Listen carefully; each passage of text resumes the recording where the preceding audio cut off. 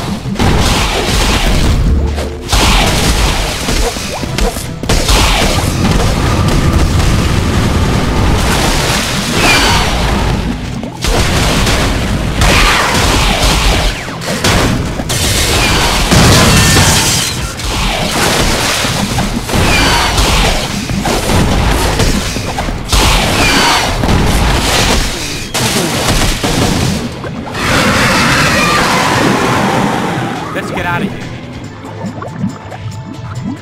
Great work, Richards. You're free to go. One more thing. I need the rest of those shields from the VDI space station. That's a tall order. It's the only way we can save ourselves.